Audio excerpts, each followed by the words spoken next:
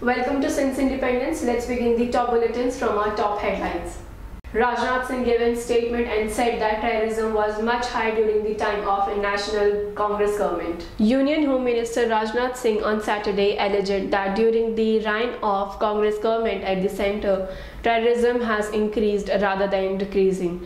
But the Narendra Modi government has changed this look. Sadhvi said that she is not laughing at the demolition of Babri Masjid but instead she is proud of it. BJP's candidate Sadhvi Pragya Singh Thakur has given a controversial statement about the Babri Masjid. Let us tell you that she is contesting from Madhya Pradesh Bhopal Lok Sabha seat on the BJP ticket in front of Digvijay Singh of Congress. Serial blast in Colombo, Sri Lanka. Three hotels and three churches were targeted. Christians were targeted as Sri Lanka on Easter occasion. There was a serial blast on Sunday morning in Colombo, the largest city here. 99 people have died in the blast in Colombo's three big churches and three hotels. Mumbai High Court released a statement where the court mentioned that children of intercaste union can take on mother's caste. The Nagpur bench of the Bombay High Court recently held children from intercaste marriages can take on their mother's caste. The court said society must give up ancient notions of gender discrimination and instead treat women and men equally. Adam Sandler and Jennifer Aniston reunite for a murder mystery. Jennifer Aniston and Adam Sandler are set to reteam for a murder comedy titled Murder Mystery.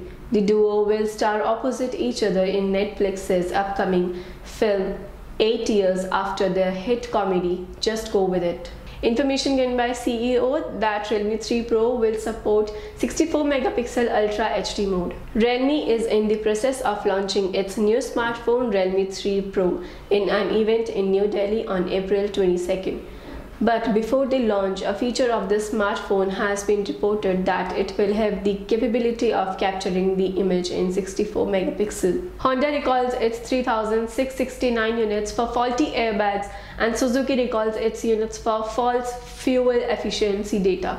Two big auto companies in Japan agrees different types of problems in the car. Because of this, both the companies have recalled lakhs of its cars from the market, where Honda recalls its 3,669 units for its faulty airbags and Suzuki recalls over false fuel efficiency data.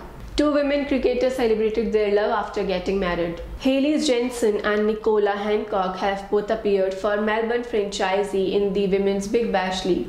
New Zealand women cricketer Hayley Jensen tied the knock with the uncapped Australian Nicola Hancock last weekend.